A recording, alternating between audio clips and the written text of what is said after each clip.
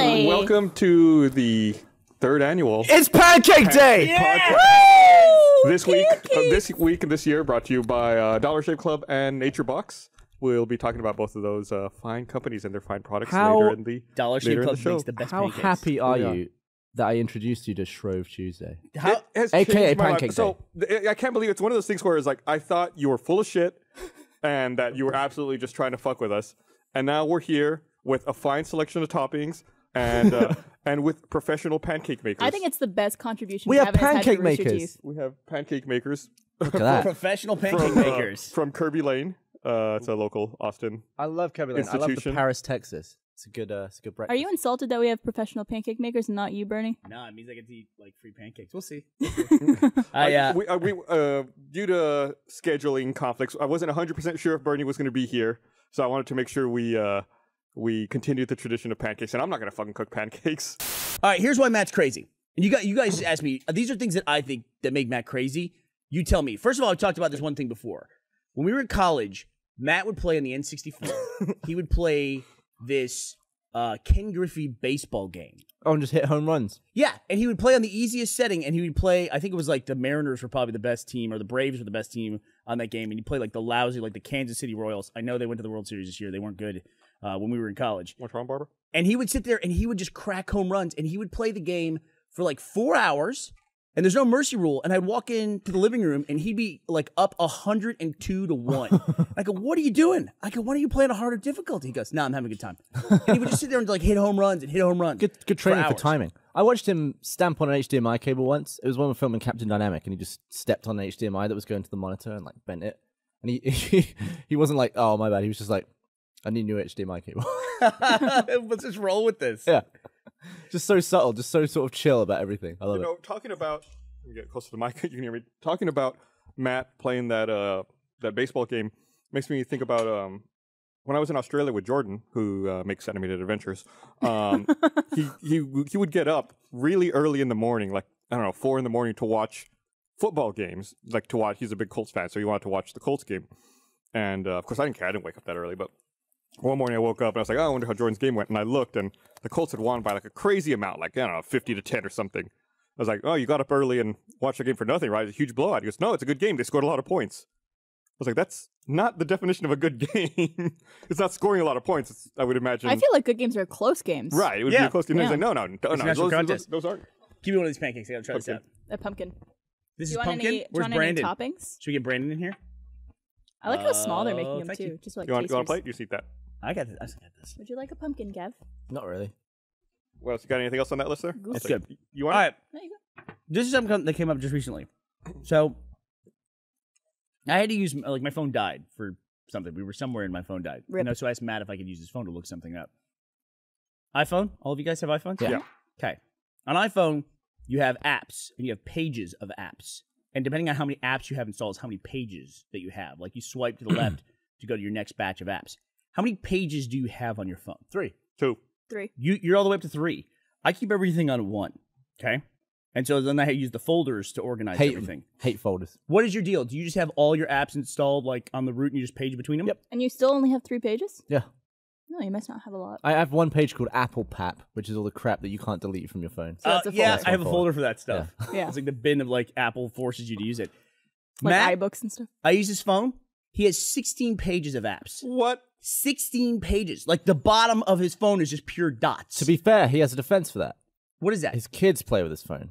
That would make sense, except you scroll and like page 13 is like a navigation app. I'm like, why is this why is this app like on a page by itself in the middle of all these other pages? What's the organizational structure here? And he's like, I don't worry about it. I'm like, how do you find it? He goes, I don't worry about it. Is he just too relaxed? I don't know He's like, it is. oh, that, that's why that's why he's terrible at giving directions in L.A. He's like, hold on.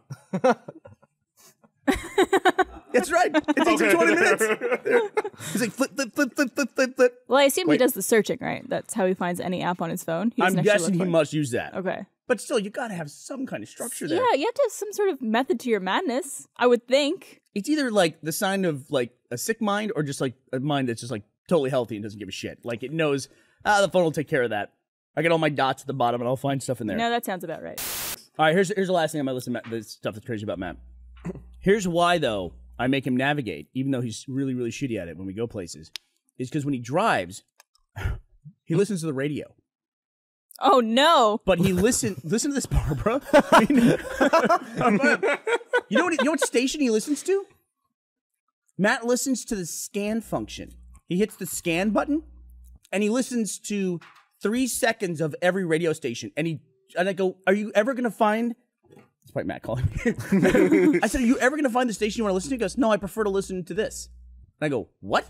He says, "Yeah, because then you just get like a little taste of everything." That's the craziest thing I've ever heard in my I've life. never heard of anybody listen to the He radio like prefers that. to listen to the scan function. I don't know what to think of Matt anymore. I This know, is right? really weird. Yeah, That's the it's- weirdest thing by far. That is Yeah. the Is weirdest. he lo- is he trying to find a song he likes? No, no. He really Is just he wants to like hear a little bit of everything. And then he hears three seconds of a song he loves. He's like, "Oh man, I love that song." You know, goes- I, I hope, I hope we come back around the dial and get to it again before it's over. Before it's done. he would make a perfect DJ. I think about it like in LA. There's like 80 radio stations in LA. So it's like you go from like talk radio to classical to Tejano I want to make to him. three A, more Tejano stations to, to then classic rock. I want to make him a mixtape now, just like three seconds of everything. Ever. do that like do a recap for our Is, shows. is it give 'em attention blurb at a span just really short? Barbara, I have no idea. Mm-hmm. I, I've reached point I can't explain anymore. I just there's, there's things about Matt. I've known him for 20 years. I just can't. Twitter. You're right. If you're if you're tweeting to me when I asked and said I'd never seen a vagina cake, I'm covered now. Thank you. I've got it. I've got it. Ooh, I want to see. Oh, they put the things. You in. sure? Yeah. There's there's a whole feed of these things. Oh, I was that see. baby it was coming out? Pregnancy. There was a baby's right. head coming out. Yeah, baby's head coming out. It's a miracle life. Was there a real baby? What? No, it's not a real baby. I think they baked a real baby into a cake. Well, strippers jump out of cakes all the time. What are you talking about? Why would they put a real baby in a Wouldn't that be cake? awesome if that's how you had a baby? What's wrong with a real? How funny would it be? A real baby in a in a veg cake. It'd be a great way to introduce a sibling to their, their new younger sibling. It's like, let's eat this cake. Oh no, there's a baby in it. Eat the baby. I think that's been done. Whoever gets Since the the- slice with the baby in it, then they're pregnant. Since the start of done. time and now, a baby has emerged That's from a veg that's cake. probably the, the origin of king cake, right? Isn't there like a like a little baby in the king cake? Yeah, little baby What's in there. king cake?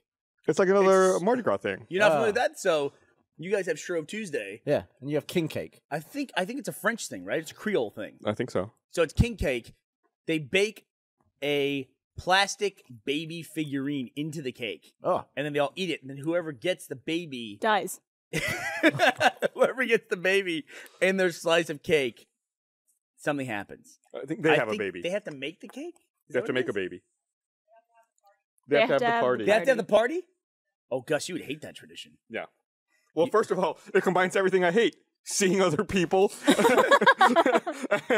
and having parties And finishing a piece of And cake. eating babies. and babies. Dan told me an amazing story about a gorilla. Apparently, you can teach. You're right. Yeah, fine. You can teach a gorilla. Was it cross-eyed? Because that would that would be an amazing story. Apparently, you can teach a gorilla to communicate with sign language and have like real, full-on. Who doesn't know that? Yeah, right. Dan had to tell you that. But here's how smart the damn gorilla was. The gorilla liked cats, and uh, the gorilla Wow, one day. so smart. how does a gorilla know what a cat is?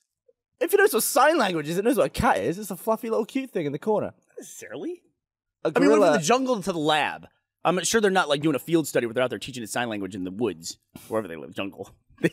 so what? Maybe they see. I guess they would see a puma or like a jaguar or something like that out there. Let him finish the story. I want to Go make ahead. fun of him. And then the gorilla accidentally broke a sink that was in the cage that it was in. And when the humans came back, the gorilla blamed the cat with sign language. Oh, did it? The Yeah, cat broke it the was like sink. explaining to the humans that the kitten broke it. You was it like That's a broke, smart gorilla. broken or like ripped off the wall? Like pulled it off the wall. the kitten know, Cat the jumped in it too It's like that cat, that video of the cat knocking the, the glass off the table. Yeah. It's the same thing. The cat's like up there at the sink. They're like, no.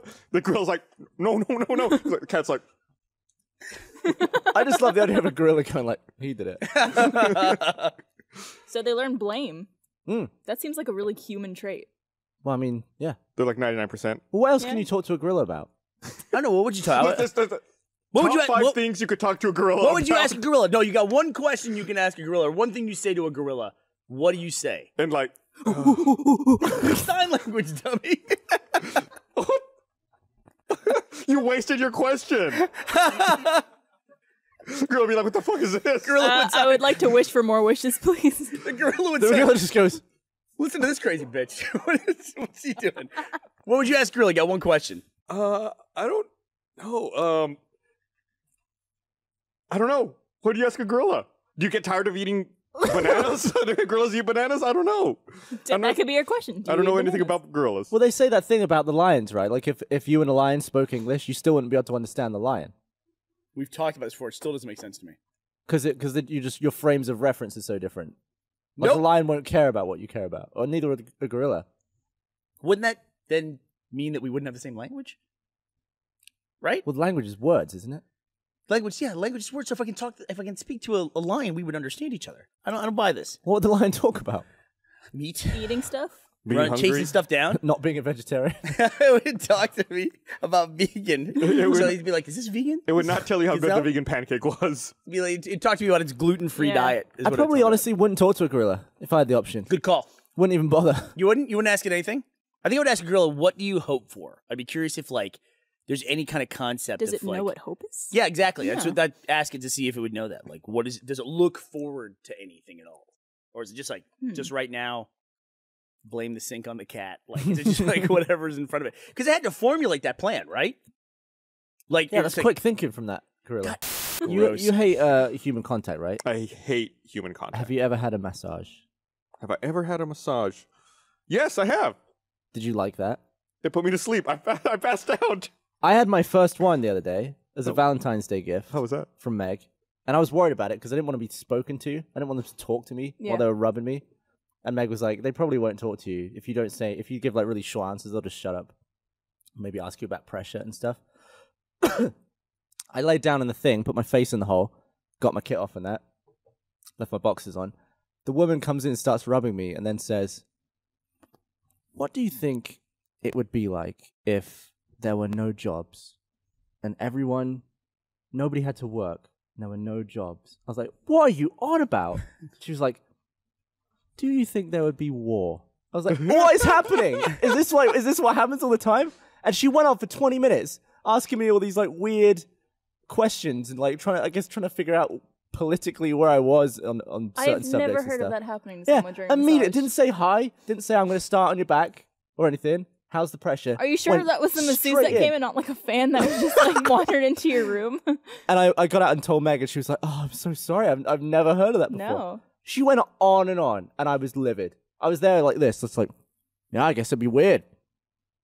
I get maybe there would be wars You should still. have pretended to be asleep. and then I was like, yeah, I guess people still would go to war because people like fighting for stuff. And she'd be like, well, what would they be fighting for? Nobody needs money. I was like, I don't know. Why are you giving me this situation? I don't care. You What are you talking about? You know, he say like, "Well, people go to war because they would get upset because people interrupted their fucking massage." yeah. Take you to war right now. Tell you a secret there. This is a little Gus trick for you. If they try to talk to you too much, just act like you're asleep. Well, it, I'd been on the table for a minute. I don't No. think I could have been snoring Just do already. Oh, you, I can totally do that. I can fall asleep in a minute. You guys have seen me do it on a plane. yeah, we've seen you fall asleep before we boarded What, the plane. what and you is it boarded about a before us. plane? Like it's not comfortable at all. I think it's the white but noise. I can sleep even before you take off. Like instantly, I can be. I can close my eyes and fall asleep. I'm not tired. Like I could have slept ten hours the night before. I get on a plane. I'm like, oh yeah, I'm gonna. I'm gonna go sleep. Maybe it's just like the really stuffiness of it, and everything's kind of like jammed in together, so you almost feel like you're in a cocoon. I don't know. Cozy. Do you know why I won't drive? Why? Because I can't wait for this. I, I do know why you won't drive. But you? you? go ahead. Why? What's your reason why you think you won't G- drive? give me yours. Let's 'Cause you're a let's have man child. Now, what's your reason? Okay, as a foreign person in this country, in this country, I can very easily get deported if I break the law. They'll just be like, "Get out," and I'll be like, "Oh, Go that- ahead. there's my life gone."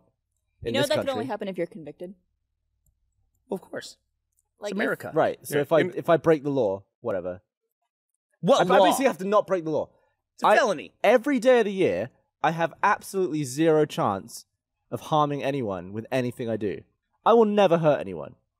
You're you're filming with Dan all week. Dan's This week. English. It's okay. I will kill never. America. He's I will never death. hurt an American. If I drive, I could very easily crash into a car or accidentally run someone over. Then I'm screwed. I I'm in the most low risk pit, bit of my life if I don't drive. Well, I, I, I, if you're likely to have any kind of calamity at your age, it's most likely going to be an accident in a car. Now That's I'm the really- most. You're, you are correct. Right. I'm really paranoid now Why is that? because I drive.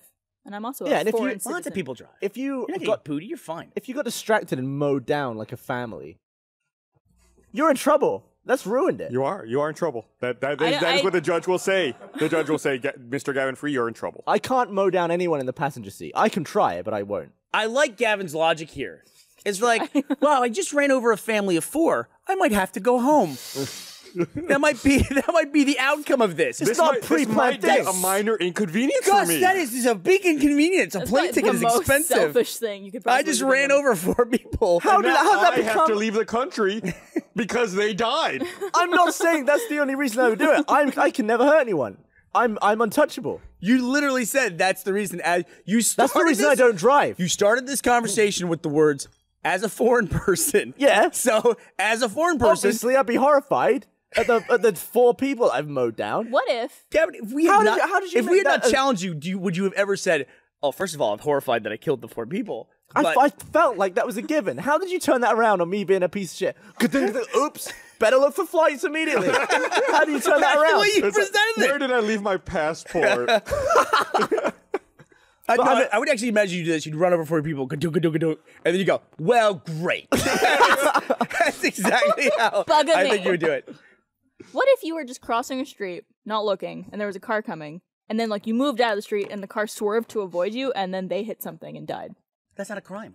No, Yeah. I'm not. I'm not saying it is, but you could hurt somebody. yeah, but he's saying from a crime perspective. That's why we're. Oh. I'm getting also on. saying I will never do that.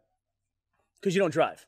Well, I won't cro- cross the street without looking. I could easily lose concentration you'd be using wheel. your, you'd be using your phone. You use your phone. you you don't drive because you're scared to drive. Because you did too I'm many. scared of traffic. dying You did too and many. murdering people by accident. Are you really scared of murdering people? Yeah, it's a big fear. You're not scared of killing someone in the in the thing that goes. I'm scared of someone killing me. Let me think about that. Let me think. About that. more you than made anything. it about you. No, it's it's Piece because of shit. no, because I'm confident in my. I'm confident in my driving skills. Yeah. I'm not confident in other people's driving skills. We're a bunch of damn drunks here. Everybody else is idiots. Exactly. all right. Thanks everyone for watching. We'll be back next Monday. Happy Tomorrow's Ash Wednesday to those of you who celebrate it.